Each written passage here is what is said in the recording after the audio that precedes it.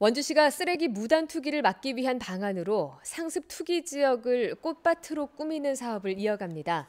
원주시는 쓰레기 무단 투기와 불법 점유로 민원이 끊이지 않는 우산 철교 사거리 옆 공터에 오늘부터 방치된 폐기물을 수거하고 진달래와 철쭉, 자작나무 등을 심어 꽃밭을 조성한다고 밝혔습니다. 지난해 개운동에도 상습 투기 장소를 꽃밭으로 만들어서 무단 투기가 줄어드는 효과가 있었다고 덧붙였습니다.